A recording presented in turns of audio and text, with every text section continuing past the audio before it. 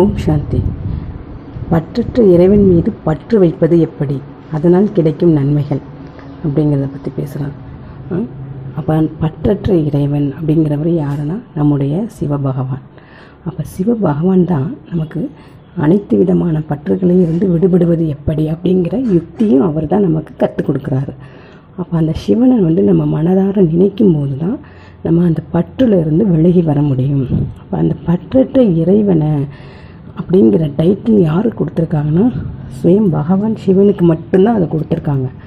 அந்த சிவனை நம்ம அதிகமாக நினைக்க நினைக்க தான் நம்ம வந்து பாவங்கள் அழியும் அப்படின்னு பகவானே சொல்கிறாரு சிவனை அதிகமாக நினைக்கணும். நினைவுனா என்னது?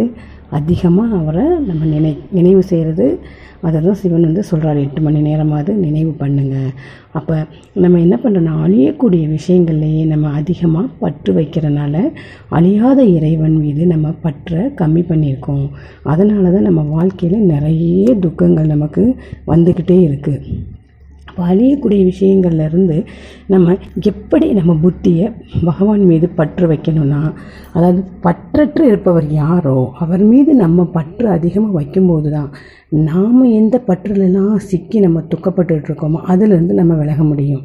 ஏன்னா இந்த பற்றுங்கிறது எது எதில் பற்று வைக்கிறோங்கிறது அதில் சிக்கி தான் இருக்கும் அப்படிங்கிறது நமக்கே தெரியாமையே நம்ம என்ன பண்ணிடுறோம்னா பற்று அதிகமாக வச்சிடறோம். அப்போ அந்த பற்றுலேருந்து விளக்க சுயம் பகவான் ஒருவரை மனதார நம்ம வந்து நினைவு செய்யணும். ஏன்னா அதாவது எந்த ஒரு விஷயமுமே நம்ம அதிகமாக செய்ய செய்ய செய்ய என்ன ஆகும்னா அது வெளி வெளி வெளி விஷயங்களை சொல்கிறேன் அது வந்து மிகப்பெரிய பாதிப்பை உருவாக்கும். ஆனால் சுயம் பகவானை மட்டும் நம்ம அதிகமாக நினைக்க நினைக்க நினைக்க என்ன ஆகும்னா அளவுக்கு அதாவது வெளியில் உள்ள விஷயங்கள் என்ன சொல்லுவாங்கன்னு தெரியுமா? அளவுக்கு மிஞ்சினால் அமிர்தமும் நஞ்சுன்னு சொல்லுவாங்க. ஆனால் இந்த பகவானை மட்டும் நம்ம எவ்வளவுக்கு எவ்வளவு நினைவு செய்கிறோமோ அந்த அளவுக்கு அதுக்கு மேலான மேலும் கோடி கோ அதுக்கு பல கோடி மடங்கு நமக்கு நன்மை இருக்கும். இந்த பழமொழி இவருக்கு மட்டும் பொருந்தவே பொருந்தாது. ஏன்னா இவருக்கு எந்த அளவுமே கிடையாது. இவர் நம்ம இவர் மீது நம்ம அதிகமாக பற்று வைக்க வைக்க வைக்க என்ன ஆகுனா வெளி விஷயங்கள் உள்ள பற்றெல்லாம் நீங்கிக்கிட்டே போகும். அப்போ என்ன ஆகும் நமக்கு துக்கங்கிறது வரவே வராது. அப்போ இப்போ சாப்பாடு நமக்கு நிறைய பிடிச்சி சாப்பாடு பிடிச்சி நிறைய சாப்பிட்டா என்ன ஆகும் அது வாமிட் வரும். அப்புறம் சொந்த பந்தங்கள் நமக்கு நிறைய பிடிச்சிருக்குன்னு சொந்த பந்தங்களை சேர்த்துக்கிட்டா என்ன ஆகும் அவங்களே நம்மளை துக்கம் கொடுப்பாங்க. அப்போ எந்த ஒரு விஷயம் ஆடைகள் நிறைய ட்ரெஸ் எடுத்து வச்சுருந்தாலும் ஒரு நேரத்துக்கு இவ்வளோ ட்ரெஸ் இருந்தும் என்ன எந்த ட்ரெஸ்ஸுமே போட பிடிக்கல. சே பழைய ட்ரெஸ்ஸே போட்டுக்குவோம் அப்படிங்கிற மாதிரி மைண்டு வரும். அப்போ எந்த ஒரு விஷயமுமே என்ன ஆகும் அளவுக்கு மிஞ்சினால் அது நஞ்சாகும். ஆனால் நம்ம இறைவனை மட்டும் அளவுக்கு மிஞ்சி நம்ம நினைக்கணும். ஏன்னா அவருக்கு அளவே கிடையாது. இறைவனுக்கு இவ்வளோதான் அப்படிங்கிறது அளவே கிடையவே கிடையாது. அப்பேற்பட்ட இறைவனை நம்ம மனதார ஆத்ம ரீதியாக உணர்ந்து உணர்ந்து நம்ம அவருக்கு நெருக்கத்தில் போக போக என்ன ஆகும்னா நமக்கு இந்த உலகாய பற்றிலிருந்து விடுதலையே அடைஞ்சிக்கிட்டே இருக்கும். அதான் பற்றற்ற இறைவன் மீது நம்ம பற்று வைக்கணும். நம்ம அதிகமாக அவர் மீது பற்று வைக்கணும். நம்ம பற்று வைக்க வைக்க வைக்க தான் இந்த வெளி விஷயங்கள் பற்றுலேருந்து நம்ம விலகி போக முடியும். ஒரு சின்ன எக்ஸாம்பிள் கூட சொல்கிறேன் அதாவது நமக்கு பிடிச்சவங்க வந்து நமக்கு பிடிச்சிட்டாலே அது என்ன அர்த்தம்?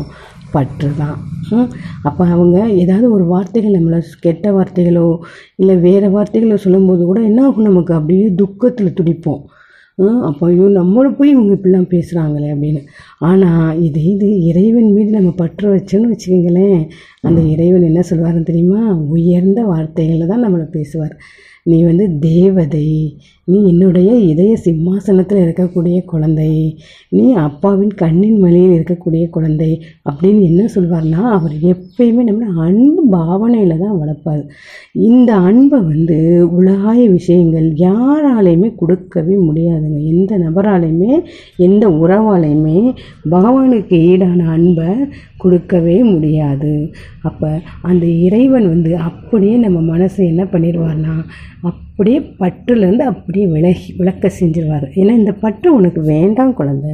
இந்த பற்றுனால உனக்கு துக்கம் தான் கிடைக்கும். ஒரு குழந்தை இறந்து போனால் கூட பார்த்தீங்களா அந்த குழந்தைக்கு என்ன பண்ணுறாங்க ஆறு எட்டு மாதம் வரைக்கும் அழுகுறாங்க. ஏன்னா அந்த குழந்தையோட நினைவுனால். அப்போ இதெல்லாம் எதற்குன்னா பற்று. பற்று அதிகமாக இருக்குது அப்போ கேட்கலாம் ஏங்க அதுக்காக அழுகாமல் நினைக்காம இருக்க முடியுமாங்கன்னு. அப்போ அழுகிறதுனால என்ன ஆக போகுது? கிடச்சிட போதா அப்போ என்ன? அப்போ அந்த குழந்தைய வந்து ஒரு பற்று இல்லாமல் வளர்த்துருந்தாங்கன்னு வச்சுக்கோங்க அவங்க அந்த குழந்தை இருந்தாலும் வந்து ஒரு பற்று இல்லாமல் இருந்தால் அது பற்றுனா எப்படின்னா நிறைய பேருக்கு வந்து தெரிய மாட்டேங்குது. எப்படி தான் பற்று இல்லாமல் வளர்க்குறது அப்படின்னு யோசிக்கிறாங்க. அதாவது பற்றுங்கிறது வந்து அதாவது தாமரை மலர் அந்த நீரும் பட்டும் படாமல் இருக்குது அந்த தாமரை மலர் நீர் எப்படி இருக்குது அந்த இலையில பூவில் படதான் செய்யுது. படாமலாம் அந்தரத்துலலாம் தொங்கலாம் தண்ணி. அதை படுது. ஆனாலும் என்னது? ஒட்டாமல் வலிக்கு கீழே விழுந்துருது தண்ணி. அப்போ படுது ஆனாலும் ஒட்டலை. அப்படிங்கிறது தான் அந்த பற்றற்ற நிலை. அப்போ வந்து நம்ம வந்து கடமைகள் எல்லாத்தையுமே செய்யணும். நம்ம வந்து எல்லாருக்கும் கடமைகளை செஞ்சு தான் ஆகணும். செய்யாமல் யாரையும் பாபா வந்து சொல்லலை. செய்யாமல் இருங்கன்னு பாபா வந்து பகவான் சொல்லவே கிடையாது.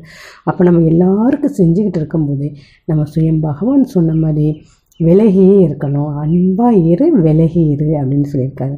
அப்போ அந்த பாவனையை வந்து நம்ம வந்து அதாவது நர்ஸெல்லாம் பார்த்தீங்கன்னா ஹாஸ்பிட்டலில் நம்ம பேஷண்ட்டாக இருக்கிற வரைக்கும் நம்மக்கிட்ட இவ்வளோ மாத்திரை சாப்பிடுங்க இப்படின்னு கேர் பண்ணிக்கோங்க இப்படி இப்படின்னு சொல்லுவாங்க. நம்ம டிஸ்சார்ஜ் பண்ணிடலாம் ஓகே போயிட்டு வாங்க அப்படின்னு சொல்லிடுவாங்க. அவங்க விலகி இருக்காங்க பாருங்கள் பட் அன்பாகவும் இருக்காங்க போயிட்டு வரையில அவங்க போயிட்டு வாங்க அப்படின்னு சொல்லிடுவாங்க. ஈஸியாக சொல்லிடுவாங்க. நமக்கு தான் ஐயோ இந்த நர்ஸ்லாம் விட்டு போகிறோமா அப்படிங்கிற மாதிரி ஒரு தாட் வரும். ஆனால் அவங்க அதை ஈஸியாக கடந்து போயிடுவாங்க. ஏன்னா அவங்களுக்கு தொழில் அப்போ அன்பாகவும் இருக்காங்க விலகி இருக்காங்க. இதே மாதிரி தான் நம்ம எல்லா இடத்துலையுமே இருக்கணும். அப்போ அன்பாகவும் இருக்கணும். அதே நேரத்தில் நம்ம விலகி இருக்க கற்றுக்கணும் இப்படி இருக்கும்போது நமக்கு பற்றே வராது. ஏன்னா பற்று வரும்போது தான் நமக்கு வந்து துக்கத்தில் துடிக்கணும். இதே இது சாதாரணமாக கொஞ்சமாக பற்று வச்சுருந்தாங்கன்னு வச்சுக்கோங்களேன். இப்போ ஒரு பொருளே இருக்குது அந்த பொருள் மீது நம்ம பற்று வச்சுருக்கோம். அந்த பொருள் நமக்கு ரொம்ப பிடிக்கும்னு வச்சுக்கோங்க. அது மிஸ் ஆயிடுச்சுன்னா ஒரு மாதம் அழுகுமா? அதுக்கப்புறம் சரி போனால் போயிட்டு போய் காசு சம்பாதிச்சு இன்னொரு பொருள் வாங்கிக்கலாம். அப்படின்னு என்ன ஆயிரும்னா அடுத்த இதுக்கு எண்ணங்களுக்கு போயிடுவோம். அப்போ அந்த பொ- அந்த பொருள் மீது பற்ற அளவு எவ்வளோன்னா அந்த ஒரு மாதம் வரைக்கும் அந்த அந்த அந்த பொருள் சம்மந்தப்பட்டது யூஸ் பண்ணும்போது சரி இது இருந்திருந்தால் யூஸ் பண்ணியிருக்கலாமே இது இருந்தால் நம்ம பயன்படுத்திருக்கலாமே அப்படின்னு எண்ணங்கள் வரும். அதுக்கப்புறம் அந்த எண்ணங்கள் போயிடும். அப்போ அதனோட டெபாசிட்டி ஒரு மாதம் அப்போ இந்த மாதிரி மனிதர்கள் மீது இப்படிலாம் பற்று வைக்கிறது காலம் ஃபுல்லாக பற்றாகுது. அது துக்கத்தை கொடுத்துக்கிட்டே இருக்கும். அப்போ என்ன ஆகுதுன்னா நமக்கு மேற்கொண்டு மேற்கொண்டு என்ன ஆகுது? பிரச்சனைகள் வந்துக்கிட்டே இருக்கு துக்கம். அப்போ இதுக்கு தான் பகவான் சொல்கிறாரு பற்று வைக்காதீங்க அப்படின்னு.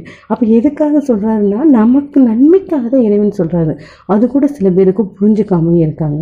அப்போ நம்ம நன்மைக்காகவே சுயம் பகவானே இந்த பொருளின் மீது பற்று வைக்காத நபரின் மீது பற்று வைக்காத உடலின் மீது கூட பற்று வைக்காத. ஏன்னா உடல் கூட என்ன தான் செய்யுது? அழிய தான் போகுது. அதனால் எதன் மீது பற்று வைக்காத? ஆனால் கடமைகளை செய்து கொண்டே இரு.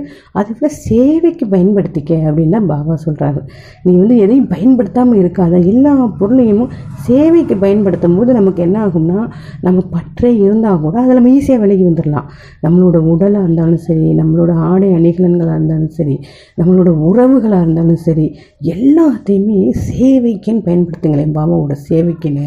அதில் பாபா நமக்கு துக்கத்தை துளி கூட கொடுக்கவே மாட்டார். ஏன்னா அது கொடுக்க சம்மதிக்கவே மாட்டார் பாபா ஏன்னா ஏன் குழந்தை சேவைக்கு தான் பயன்படுத்துது? அப்படின்னு பாபா வந்து நமக்கு நன்மையை தான் செய்வார். ஏன்னா எல்லாமே அவ- அவருக்காக தான் நம்ம வந்து படைக்கப்பட்டிருக்கோமே நம்ம இதுக்காக படைக்கப்பட்டிருக்கோம் பாபாவோட கோ சேவையை நம்ம செய்வதற்காக தான் இன்ன வரைக்கும் நம்மளை பாபா பாவனை பண்ணி வளர்த்துக்கிட்டு இருக்காரு. அப்போ நம்ம நம்ம போகிற லைனும் எப்படி இருக்கணும்? சேவைக்குரியதாகவே இருக்கணும். அப்படி இறைவன் மீது சேவை மீது அப்படிப்பட்ட வந்து நம்ம வந்து மைண்டை மாற்றிடணும் இப்படி பார்த்தும்போது என்ன ஆகும்னா நம்ம எந்த பொருளை தொலைச்சாலும் சரி ஓகே பரவாயில்ல இதை விட நமக்கு பெரிய பொருள் கிடைக்கும் அப்படின்னு தாட்டு போயிடும். ஏன்னா எதற்காக நம்ம பண்ணிகிட்டு இருக்கோம்னா சேவைக்காக பண்ணிகிட்டு இருக்கும்போது நம்மளோட எண்ணங்களும் என்ன ஆகுதுன்னா உயர்வாக இருக்கும். இதே இது நம்ம அழியக்கூடிய விஷயங்கள் பண்ணும்போது அது மிகப்பெரிய துக்கத்தை கொடுக்கும். எல்லாமே சேவைக்குன்னு நம்ம நினச்சி பண்ணிகிட்டு இருக்கும்போது எந்த ஒரு மனசுலையும் நமக்கு கவலையே வராது. யாராவது அடுத்தவங்க மற்றவங்க திட்டினா கூட நமக்கு வந்து சிரிப்பு தான் வரும். நம்ம யார்? நம்ம இறைவனோட சேவை பண்ணிக்கிட்டு இருக்கோம். இவங்க அது கூட புரியாமல் பேசிகிட்டு இருக்காங்களே. இறைவா அறியாமல் இருக்காங்களே. ச பாவம். இவங்களுக்கு நல்ல புத்தியே கொடுங்க இறைவா. இவங்க பாவ கணக்கிலேருந்து அழித்து அவங்களுக்கு புண்ணியம் சேரட்டும். அந்த அளவுக்கு இவங்க அறியாமல் இருக்காங்க. அப்படிங்கிற மைண்ட் என்ன ஆயிருன்னா வேறு மாதிரி பாவா மாற்றிடுவார் ஏன்னா நம்ம யாருக்காக இருக்கோம்? சேவைக்காக இருக்கோம். நம்ம பயன்படுத்துகிற பொருள் எதுக்காக? சேவைக்காக. அப்போ அந்த நபர்கள் நம்மளை திட்டையில் என்ன ஆகும்? அதுவும் நமக்கு பாவா இதெல்லாம் உள்வாங்கவே விட மாட்டார். அவங்க என்ன தான் பேசினாலும் அவங்க நம்மளை என்ன தான் நெகட்டிவ் கொடுத்தாலும் பகவான் நம்மளை வந்து பாசிட்டிவாக வளர்த்து கூட்டி போவார். சொல்கிறாரு ஆனால் இது வந்து பாவா குழந்தைங்க இல்லாதவங்களுக்கு எவ்வளவோ பேர் துக்கத்தில் துடிக்கிறாங்க. யாராவது பேசிட்டா இல்லை உறவுகள் மீது பற்று வச்சுக்கிட்டு டிவி சேனலில் நாடகம் அது இதுன்னு எல்லாமே பற்றை உருவாக்கக்கூடியதாகவே தான் போடுறாங்க. அப்போ என்ன ஆகுதுன்னா பற்று அதிகமாக வரையில் அது நம்ம அது மிஸ் ஆகையில் அதிகமாக துக்கப்படுறாங்க. அப்போ இது நம்ம பற்றில் தான் இருக்கும் அப்படிங்கிறது அந்த உணர்வு கூட இல்லாமல் நிறைய பேர் கஷ்டப்படுறாங்க. அப்போ இதுலேருந்துலாம் அவங்க விலகணும் இறைவா. அப்போ பாபா தான் ஒரு தடவை சொல்லியிருக்காரு எத்தனையோ பேர் விகாரங்களில் ரொம்ப மூழ்கி போய் கஷ்டப்பட்டுட்டு இருக்காங்க அவங்களாம் வெளிவரதுக்கு பா அப்பாவை எப்படி வெளிப்படுத்தணும் அப்படிங்கிறது யுக்தியாக யோசனை பண்ணி நீங்கள் சேவை பண்ணுங்க அப்படின்னு சொல்கிறாரு அப்போ நம்மளும் ஒவ்வொரு விஷயங்களையும் யோசனை பண்ணி யோசனை பண்ணி உலகத்துக்கு பாவமே இவங்க இவங்க இவ்வளோ கஷ்டத்தில் இருக்காங்களே இவங்க இவ்வளோ நஷ்டத்தில் இருக்காங்களே இறைவா அப்படின்னு நம்ம கூடிய பிரச்சனைகளை கூட நம்ம என்ன பண்ணலாம் சுயம் பகவான்கிட்ட ஒப்படைச்சிட்டு இதை விட எத்தனையோ பேர் கஷ்டத்தில் இருக்காங்களே பற்றுங்கிறது என்னன்னு கூட தெரியாத அளவுக்கு பற்றில் சிக்கி துக்கத்தில் இருக்காங்க. இருக்காங்களே அவங்களாம் இறைவன் மீது பற்று வைக்கணுமே. ஏன்னா அந்த இறைவன் ஒருவர் மீது பற்று வைக்கும்போது மட்டும்தான் அவங்க அந்த துக்கத்தில் இருந்து வெளிவர முடியும். அந்த சக்தியை இறைவனால் மட்டும்தான் கொடுக்க முடியும். அதை அவங்களுக்கு உணர்த்தணும் அப்படிங்கிற அந்த பாவனை சுப பாவனையை நம்ம வைக்கணும். அப்போது தான் அவர்களுக்கு எதன் மூலமாவது இது தவறான விஷயம் இதுலேருந்து நம்ம வெளியில் வரணும். இது வந்து பற்று இறைவன் பற்று வைக்கக்கூடாதுன்னு சொல்லியிருக்காரு. ஏன் அந்த பாட்டில் கூட சொல்லுவாங்க பார்த்தீங்களா ரஜினி பாட்டில் கூட ஒட்டியும் ஒட்டாமலிரு தாமரை மலர் அப்படின்னு எத்தனையோ விஷயங்கள் ஆன்மீக விஷயத்தில் எவ்வளவோ நல்ல விஷயங்கள்னு சொல்லியிருக்காங்க. அதன் மூலம் எதன் மூலமாவது அவங்களுக்கு தெரிஞ்சு அவங்க அந்த பற்றுலருந்து வெளியில் வந்துடுவாங்க அதற்கு ஒரு வாய்ப்பு நம்ம கொடுக்குற மாதிரி இருக்கும். அப்போ இறைவன் சொல்வது பற்றற்று இரு அப்படின்னு தான் சொல்கிறாரு அப்போ அந்த இறைவன் பற்றற்று இருக்கிற இறை பற்றற்று இருக்கணும். ஆனால் அது மனசு எதுலையாவது செலுத்தணும்ல. ஏன்னா மைண்டாகப்பட்டது எதுலையாவது மனசு நம்மளை ஈர்த்துக்கிட்டே இருக்கும். அப்போ என்ன பண்ணலாம் சிவன் மீது அந்த பற்றை முழுமையாக செலுத்திடணும். அப்போ சிவன் மீது நம்ம பற்றை முழுமையாக செலுத்தும் போது என்ன ஆகும்னா இது நமக்கு கூட கூட என்ன ஆகும்னா அந்த பற்று சிவன் மீது பற்று வைக்க வைக்க வைக்க நமக்கு அழியக்கூடிய விஷயங்கள்லேருந்து பற்று தானாக விலகி போய்க்கிட்டே இருக்கும். ஏமா நம்மளோட லோடு ஃபுல்லாக எங்கே ஏறிடும்? அங்கே புண்ணிய கணக்கில் ஏறிடும். அப்போ அழியக்கூடிய பாவ கணக்கில் சுமையிலேருந்து நம்ம ஈஸியாக வெளியில் வந்துடுவோம் அதான் பற்றற்ற இறைவன் மீது நம்ம அதிகமாக பற்று வை வைக்கிறதுனால நமக்கு என்னென்ன நன்மைகள் கிடைக்குது பார்த்தீங்களா? மனசு சதா லேசாக பறக்கும். எந்த விஷயங்கள் வந்தாலும் அதுக்குரிய மனப்பக்குவம் தைரியமும் நமக்கு கிடைச்சிரும். இப்படி இப்படிப்பட்ட பகவான் நம்ம கூடயே இருந்து நமக்கு உதவி செஞ்சுக்கிட்டு இருக்கும்போது நம்ம எதுக்காக இன்னமும் கவலைப்பட்டுக்கிட்டு துக்கத்துலேயும் துயரத்துலேயும் இருக்கணும்? அதனால் இது வரைக்கும் இருந்ததெல்லாம் போதும். இனிமேல் பற்றற்ற இறைவன் மீது நம்ம பாபா மீது பற்று வைத்து அதிக ஈர்ப்பு பற்று வைத்து நம் பல கோடி நன்மைகளை அடைவோம். ஓம் சாந்தி.